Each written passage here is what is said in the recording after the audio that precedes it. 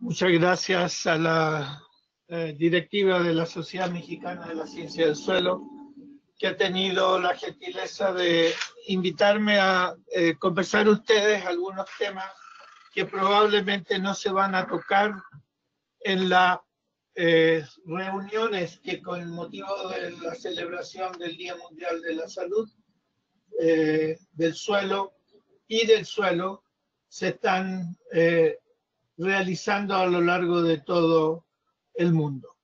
El Día Mundial del Suelo tiene por objetivo eh, fundamental concientizar a los habitantes del planeta acerca de la importancia de mantener los ecosistemas eh, saludables, aumentando al mismo tiempo el conocimiento acerca de la importancia que tienen los suelos para los seres humanos que habitan el, el continente en este momento, pero que también nos preocupa mucho qué es lo que va a ocurrir con el suelo en el futuro. En primera instancia vamos a hablar de los suelos del mundo y de México.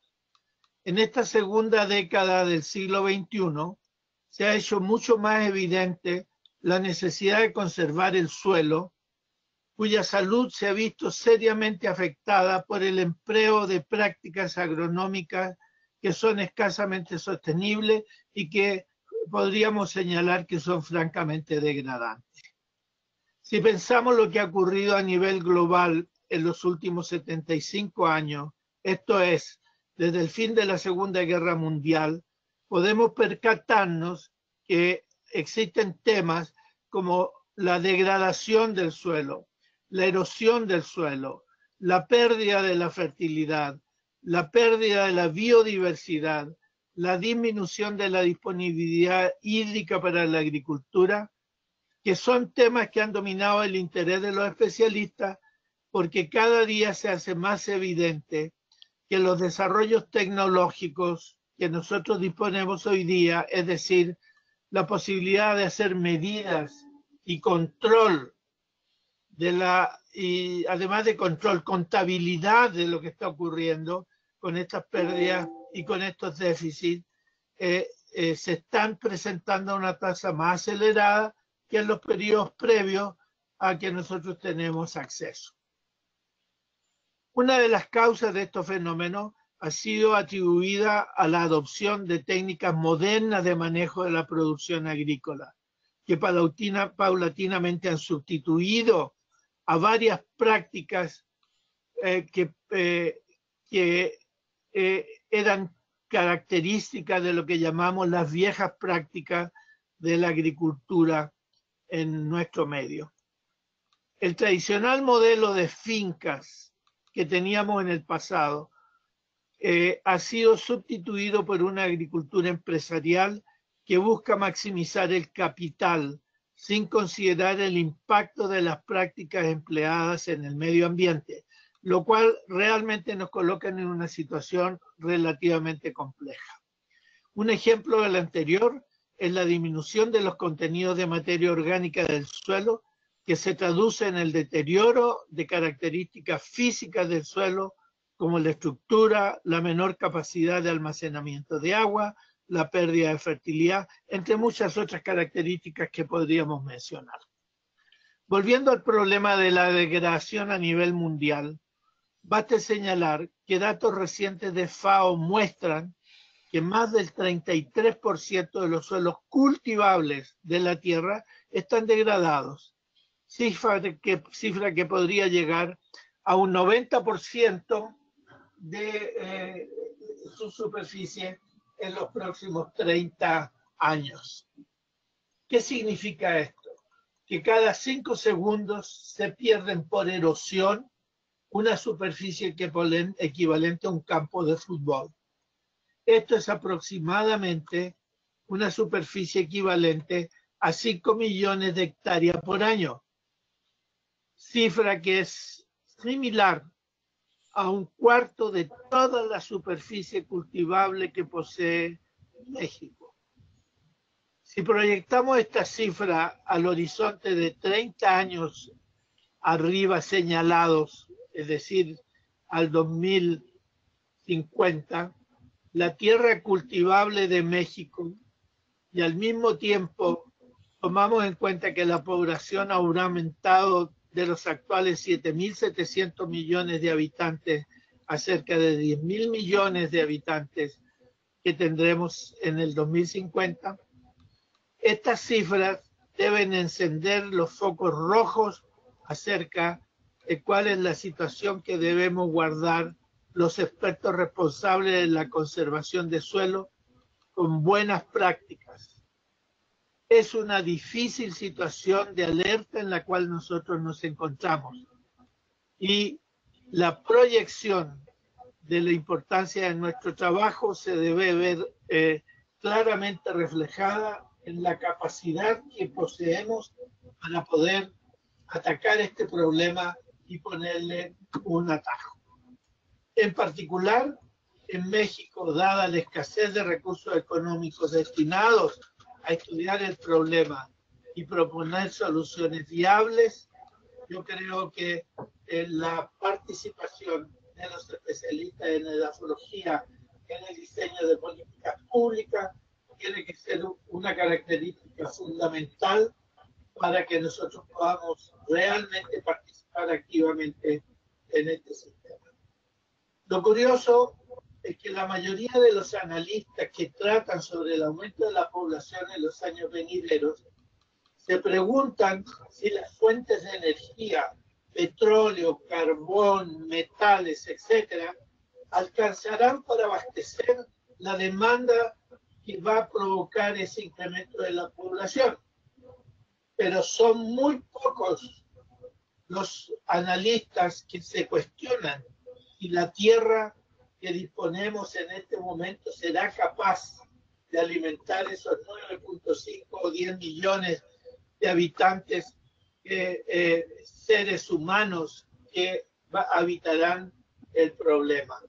Y que esta población de la, o esta problemática, perdón, de la tasa de degradación del suelo que nosotros nos encontramos en este momento, será una situación mucho más grave que tendrán que enfrentar las generaciones futuras eh, trabajen en el sector agrícola.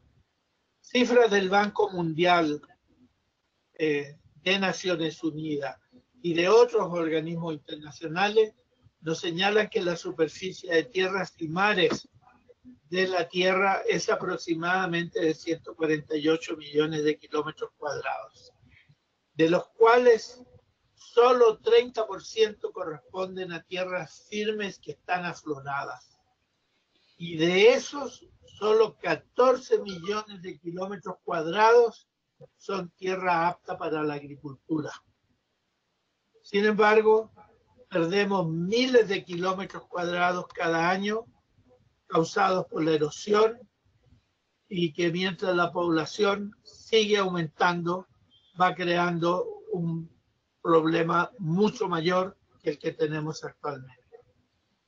Toda esta situación se torna eh, un poco compleja dado la escasa limitación de recursos e interés que existe por parte de las propias autoridades de poder entonces eh, colocar algún eh, coto, que coloquemos mayores cantidades de dinero, que formemos mayores de recursos humanos, que nos preocupemos de esta situación que es relativamente grave. Veamos ahora cuál es la situación de México. La situación de México es que cuenta en este momento con una superficie continental de aproximadamente 1.900 millones de, de hectáreas y ocupa el quinto lugar en extensión territorial después de Canadá, Estados Unidos, Brasil y Argentina. ¿Cuál es la diferencia? Estos cuatro países son potencias agrícolas que a diferencia de México, que es un portador neto de eh, productos agrícolas, ellos son exportadores netos de productos agrícolas. La razón fundamental de este hecho, podríamos señalar, es que estas cerca de 22 millones de hectáreas cultivables son realmente eh, sometidas a cultivos intensivos, a malas prácticas de manejo, a contaminación por el uso de aguas que son eh, aguas residuales, tanto urbanas como industriales, y que están provocando una contaminación eh, en, el, en, el, en el suelo. El resto de la superficie del país, es decir, más del 70% de la superficie del país, está ocupada por bosques, selvas, matorrales y desiertos y tiene escasa eh, utilidad desde el punto de vista agrícola. Los suelos de México muestran, de acuerdo a todas las cifras oficiales, un avanzado estado de erosión, eh, especialmente de carácter. El mapa que gustaría eh, mostrar a continuación se presenta o que proviene del año 2002, presenta estudios ya sobre esta situación. Sin embargo, lo que ustedes ven en pantalla, ustedes están viendo en pantalla, no refleja la situación particular de erosión que experimentan grandes extensiones a nivel regional, como se aprecia en figuras eh, particulares y específicas del caso de Michoacán y de, y de Veracruz. Este tema se repite en toda la República, lo que es una indicación que los planes nacionales de combate a la erosión deben bajarse a nivel predial para que realmente resulten mucho más efectivos. La fotografía que ustedes tienen a su lado izquierdo es una muestra dramática de lo que puede ocurrir y ocurre, en este caso en el estado de Veracruz, pero que lo podemos ver en muchos estados de la República, donde el uso excesivo, la deforestación, las malas prácticas de manejo han causado y eh, pérdidas de suelo que efectivamente van a repercutir en, en el propósito o en, en las perspectivas futuras de los habitantes de este país. Y no tenemos prácticas en este momento que nos permita iniciar un proceso de control. Si nos atenemos a las fuentes oficiales de, información que disponemos en México, es decir, Semanat, INEGI fundamentalmente, muestran algunas discrepancias en las cifras reportadas sobre el grado de erosión. Aunque en términos generales podríamos señalar que estas técnicas o estas cifras son relativamente coincidentes y las diferencias se encuentran principalmente en el tipo y grado de erosión que encontramos a nivel particular en cada una de estas situaciones. La información más reciente de, eh, proveniente del Instituto Nacional de Estadística y Geografía, INEGI, que empleó técnicas de fotointerpretación de imágenes satélites y puntos de verificación en campo y que proviene de, de un estudio realizado en el año 2016, eh, señala que el 60% de la superficie nacional está afectado en algún grado por erupción hídrica y que solo 34% de los suelos restantes fueron clasificados como estables, no todos agrícolas. Si consideramos que la población de México, estimada por INEGI en el año 2019, es de aproximadamente 126 millones de habitantes, ello significa que las tierras arables disponibles per cápita en este país son hoy día 1.740 metros cuadrados, lo que equivale a una cifra muy parecida de los países más pobres de la zona asiática. Sin embargo, si nosotros hacemos un, un, cálculo, un cálculo eh, eh, de la población que podríamos tener en el año 2040, que el mismo INEGI lo coloca entre 131.5 y 132 millones de habitantes eh, en el 2024. En 148 millones en el 2050, significa que habría una reducción de esa superficie disponible por per cápita a una superficie de 1.500 metros cuadrados per cápita, que nos pondría en una condición bastante precaria frente a la capacidad nacional que tiene el país de producir eh, eh, eh, los alimentos necesarios para toda su población. Y necesariamente tendremos que seguir recurriendo entonces a la importación de millones de dólares desde países extranjeros para poder abastecer a, a nuestra población. Esta proyección nos obliga especialmente a prestar atención en aspectos que tienen que ver con conservación de suelo, de la calidad de esas 20 o 22 millones de hectáreas cultivables que tenemos en este momento en el país y evitar que en aras eh, de una mayor cantidad de suelo disponible que podría ser una solución destruyendo bosques, selvas y otras cosas, eh, acabásemos con estas eh, vegetaciones naturales, es decir, bosques selvas, que acabásemos con praderas naturales, que acabásemos con el bosque y otras vegetaciones que tenemos la obligación realmente de, conservar, entre ellos manglares que no estarían directamente envueltas en la parte de, agrícola propiamente tal. Eh, no olvidemos que los manglares que acabo de mencionar son el refugio de la biodiversidad.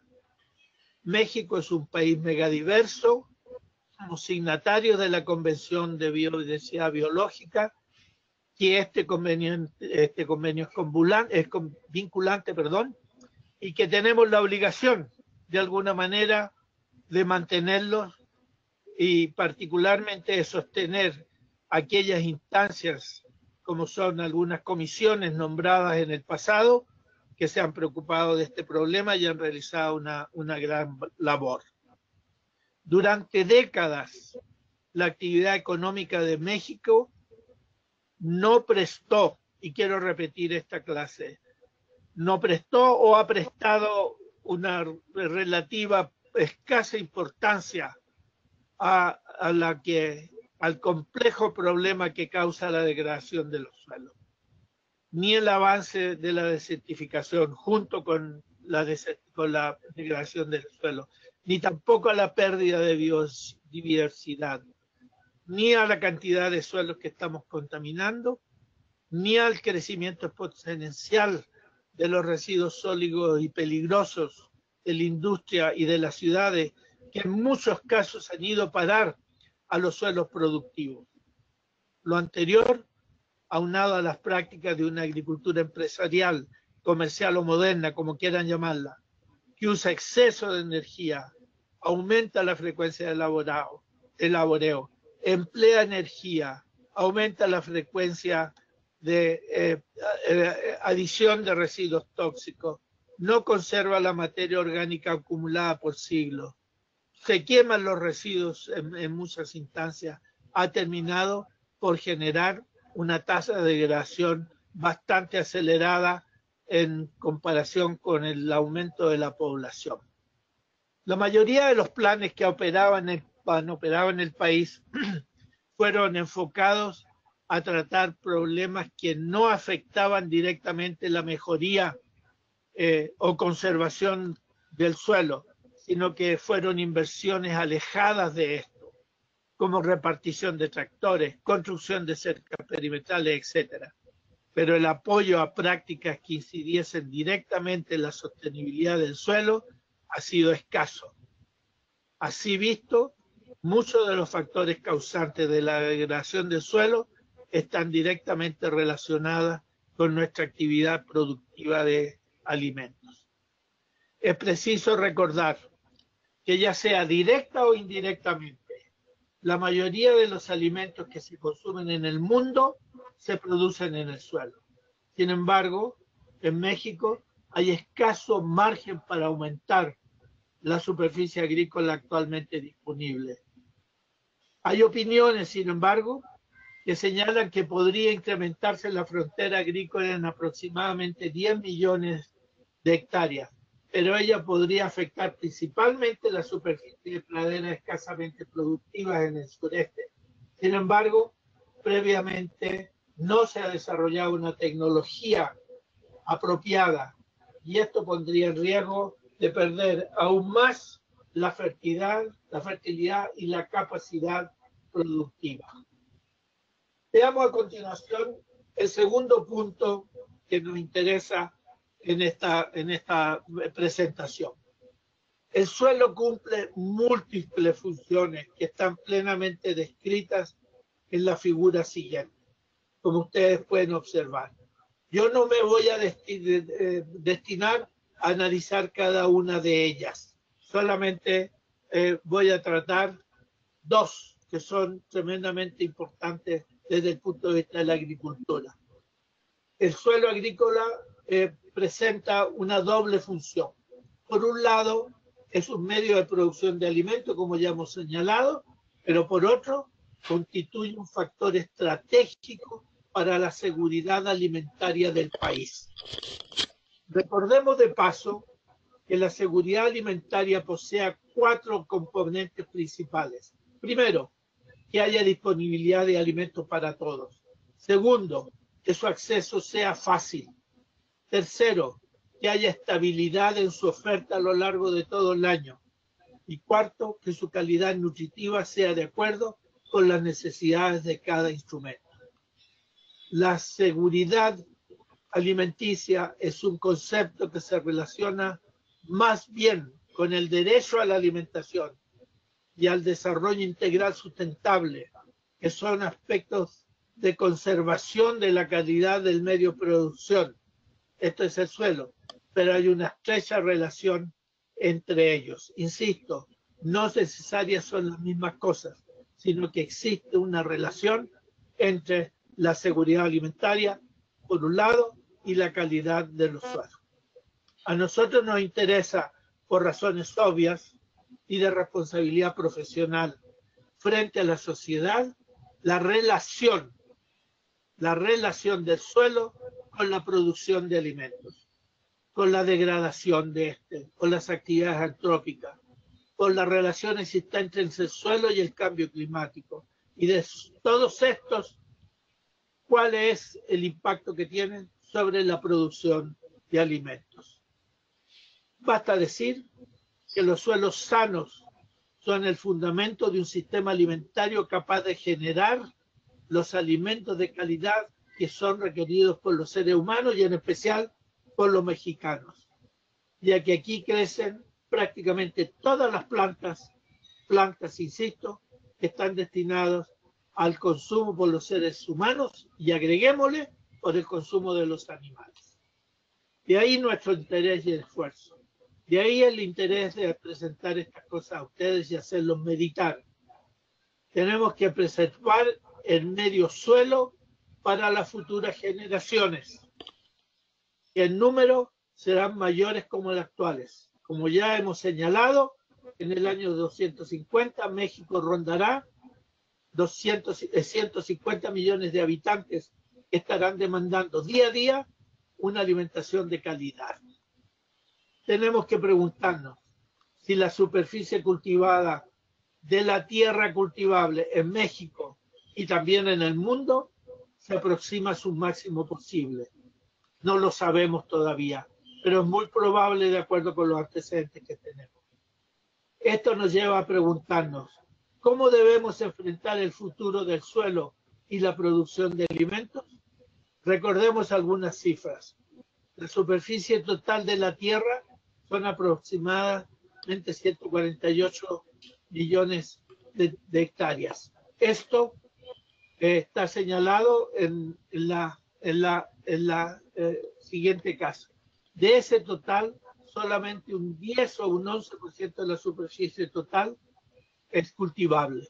En el caso específico de México que nos interesa, se tiene una superficie de aproximadamente de 1.900.000 hectáreas, de las cuales 11.6, de acuerdo con el Banco Mundial, son terrenos cultivables. Esto es aproximadamente entre 21 y 22 millones de hectáreas.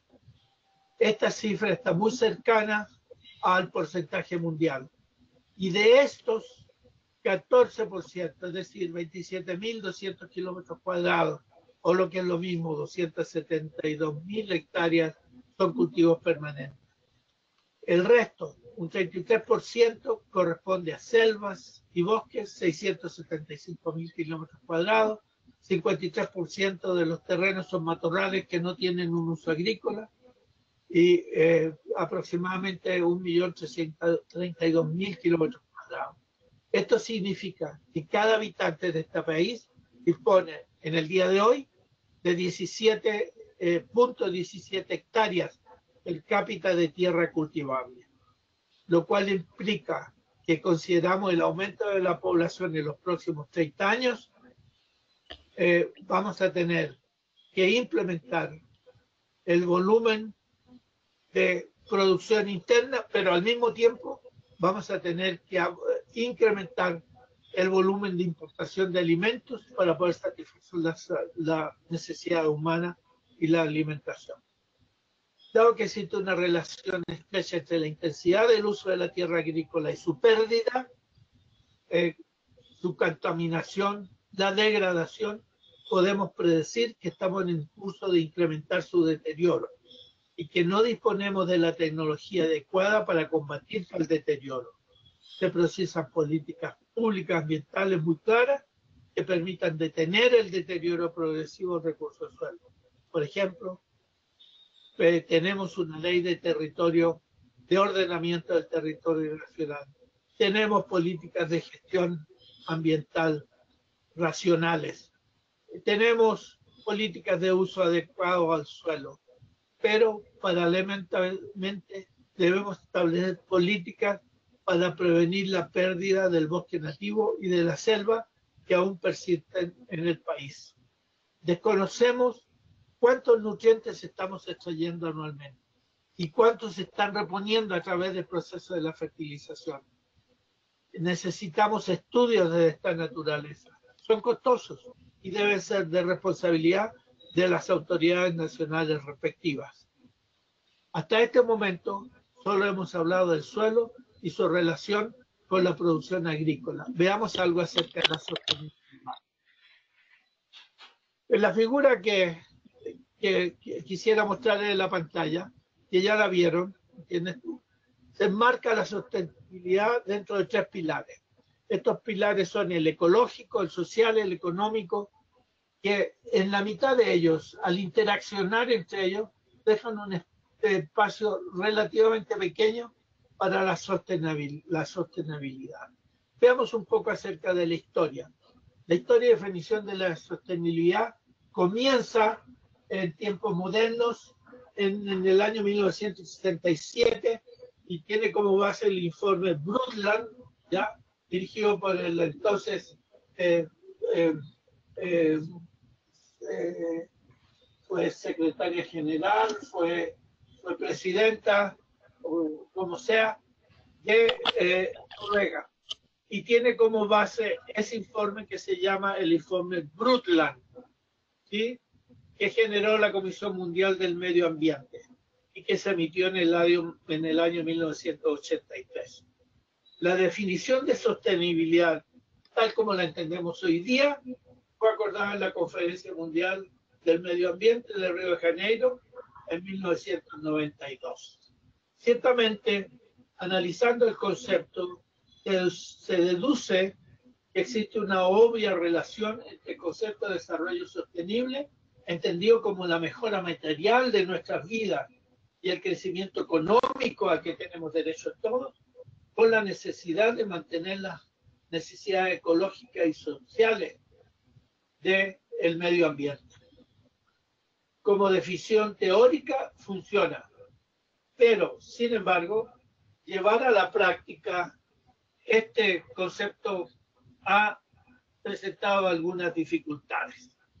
Por ello, después de varios luchos de formulación del concepto de sostenibilidad y de discusión, fundamentalmente de discusión académica, eh, pensamos que hay que entender el desarrollo sustentable, sostenible verdaderamente, como aquella que conjuga armoniosamente los intereses de los recursos naturales, que hay que cuidarlos, el bienestar de la sociedad, tiene que haber desarrollo económico, mejoramiento de la calidad de vida, y por el otro lado, tiene que haber desarrollo económico. Se trata de hacer las cosas de tal manera que los tres preceptos señalados anteriormente se concilien con la posibilidad de una vida futura del planeta y no comprometamos el futuro de la especie, eh, especie humana. Para ello, las instancias internacionales han propuesto algunas ideas que han evolucionado en años recientes. Últimamente se establecieron los objetivos del desarrollo sostenible acordado, acordado en 2015 dentro de lo que se llama la Agenda 2030. Tienen en la pizarra en este momento eh, algunos de los 17 eh, objetivos que se plantearon, en varios de los cuales aparecen eh, temas que están relacionados con la calidad del suelo. Los objetivos del desarrollo sostenible son un llamado mundial para proteger al planeta de una mayor degradación, de reducir al mínimo la pobreza y de garantizar la paz, bastante averiada en el día de hoy. Los eh, objetivos de desarrollo del, planeta, como ustedes pueden haber visto en la figura, son 17 y contienen 167 metas en las cuales hemos avanzado, pero probablemente no con la suficiente rapidez. En el caso específico de la siguiente transparencia, aparece un trabajo realizado por el Tecnológico de Monterrey, donde muestra para cada uno de los puntos algo, ya está relacionado con los temas. Nosotros estamos insertos fundamentalmente en el concepto 13. La pregunta que surge en este momento es qué está haciendo México, México para alcanzar esos objetivos. En contraste con la pasiva posición gubernamental, se observan esfuerzos académicos, como por ejemplo el Tecnológico de Monterrey y la UNAM, quienes convienen una red de soluciones de desarrollo en México, que parte de la base para alcanzar ese desarrollo, que los técnicos, investigadores, científicos, tenemos una responsabilidad en la formulación de los proyectos, en la tecnología y, y en el desarrollo de los mismos, con el propósito de enfrentar el futuro, pero no parecen estar funcionando hasta la hora. Hay que hacer una revisión profunda de todos estos conceptos, de todos estos conceptos, para no tener problemas. En la, en la imagen siguiente, quiero citar un ejemplo, ¿ya?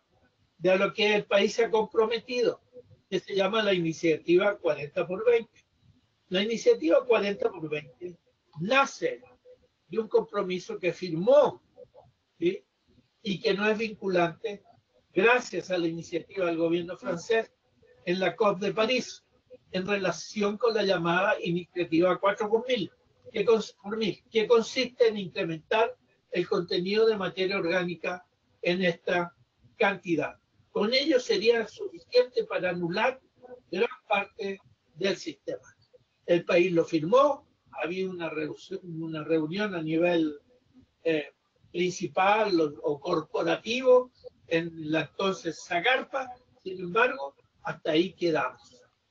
También en la COP de Lima 20 se firmó la iniciativa denominada 20 por 20 que parte de, el, del, de una iniciativa de la WRI, entiende esto a nivel mundial, y que en el caso específico de América Latina se trata de reservar 20 millones de hectáreas o de recuperar, más bien dicho, perdón, de recuperar 20 millones de hectáreas de terrenos degradados y deforestados en América Latina.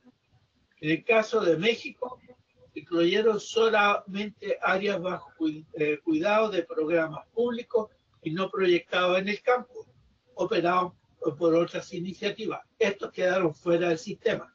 En total, de las 20 millones de hectáreas, en México, México se comprometió a restablecer 8.8 millones de hectáreas.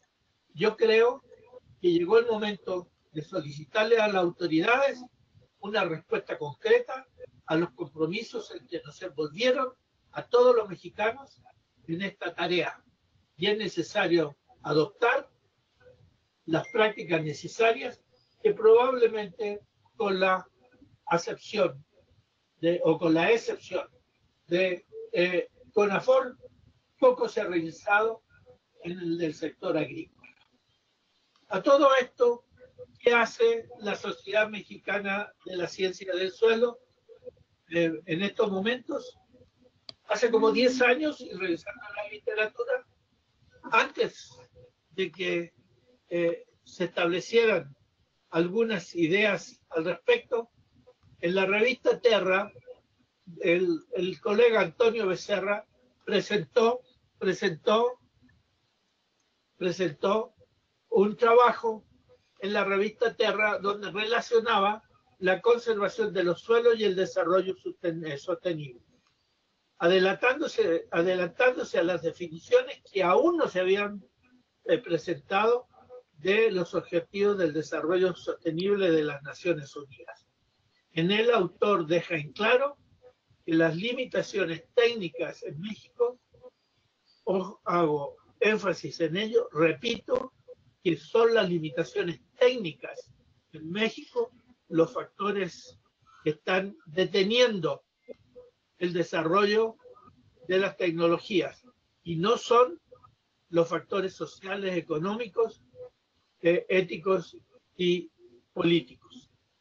En este caso, tendríamos que prestar mayor atención a estos tres con el propósito de sacarlos de medio y poder llegar con nuestras técnicas y nuestras prácticas para la recuperación de los suelos.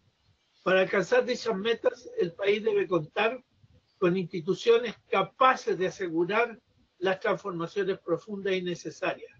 Se han organizado seminarios académicos en SER, en el Senado de la República, en fundaciones privadas, en la UNAM. La necesidad de la participación ciudadana es una de las conclusiones más importantes. Y para ello, o con ello, evitaríamos las falsas representatividades y las relaciones clientelares, que son una manera común de generar políticas públicas en México. Por eso, en este caso específico, necesitamos realizar una búsqueda dentro del sector agrícola de México y dentro de los organismos de desarrollo sostenible que estén relacionadas con el suelo, arrojando escasa información oficial y acciones que pudieran destacarse para poder resolver el problema que se ha creado por la participación de personas que probablemente no están al frente de los problemas que pueden ayudar con cierto grado de tecnología resolver el problema. En el reciente Congreso Nacional de la Ciencia del Suelo, invitados extranjeros del máximo nivel establecieron algunas relaciones importantes entre estos objetivos y las acciones que pudieran emprenderse a nivel de la Sociedad Mexicana de la Ciencia del Suelo, ideas a las que los dirigentes de esta deben darle seguimiento en el futuro cercano más próximo. Para concluir con esta presentación, quisiera eh, hacer un breve análisis del impacto que tiene el cambio climático, aprovechando la reunión de la COP25 en Madrid, porque realmente existen algunas relaciones entre los dos.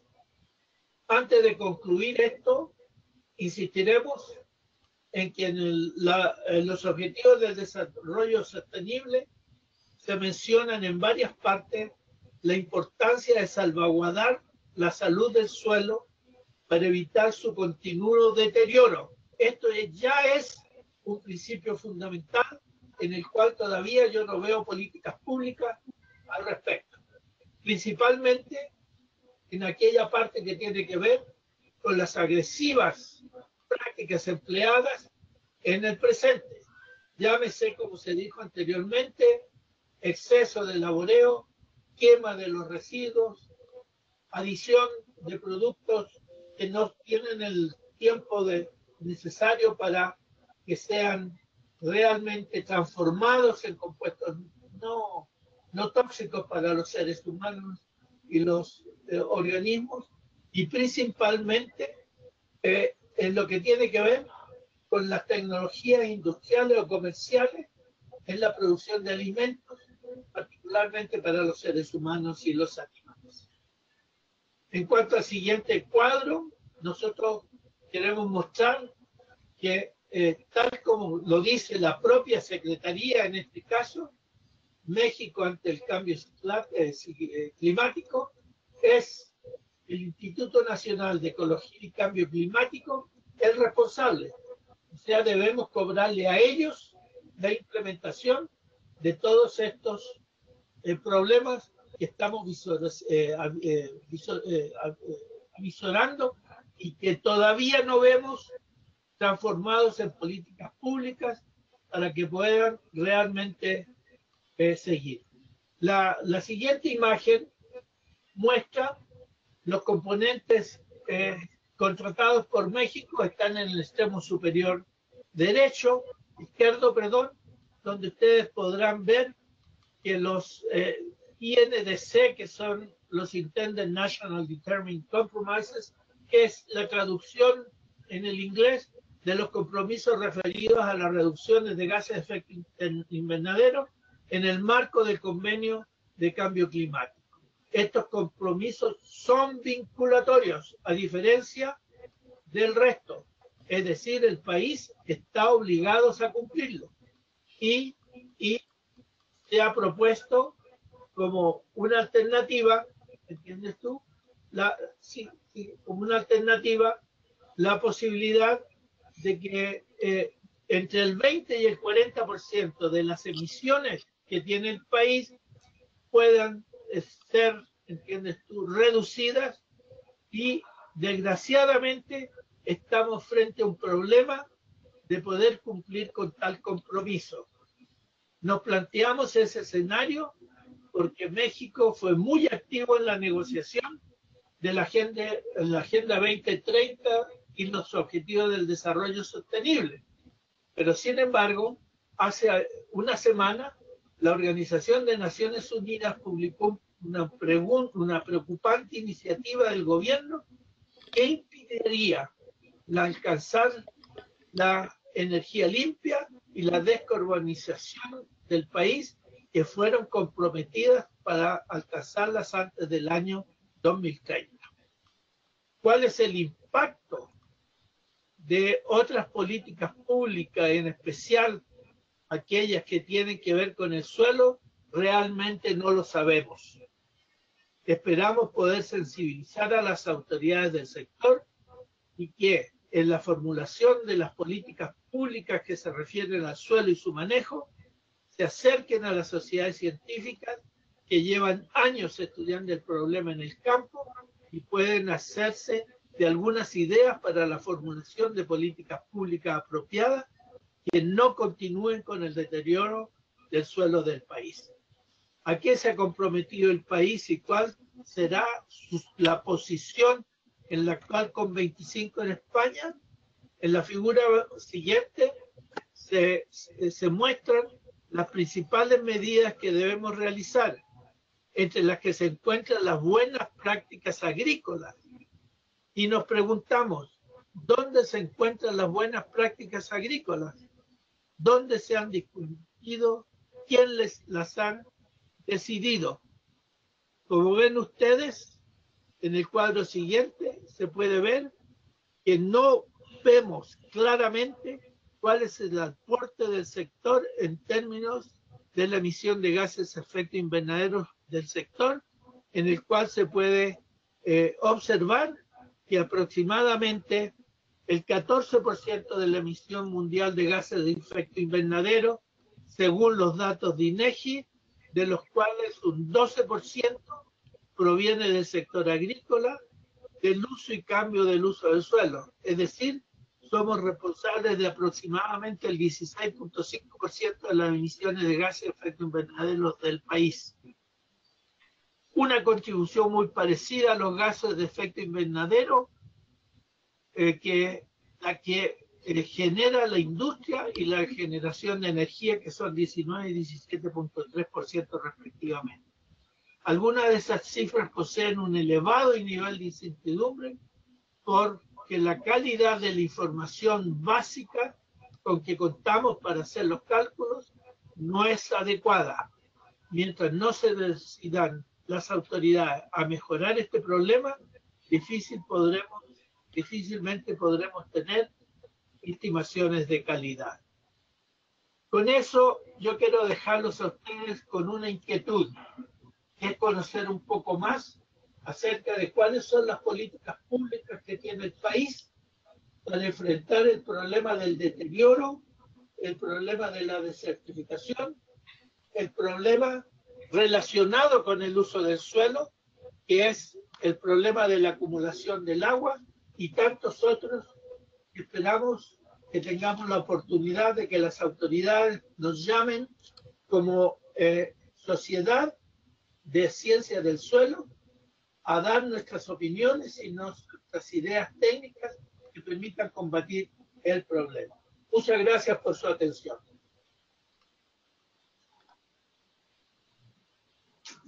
No sé. preguntar eh, que haya preguntas? Doctor, ¿me escucha? Sí, te escucho perfectamente bien. Eh. Eh, eh, ¿Quiere que abramos el, el, audio para quien quiera preguntar? Sí, hay una o dos preguntas con mucho gusto y a ver si las puedo contestar, pero espero que los pocos que hayan escuchado se hayan quedado con el mensaje claro. Sí. A ver, eh, deje. Eh, pues no, les habilité el audio y no. O se fueron, o se aburrieron. No, hay, hay, hay, hay, hay, sí hay gente.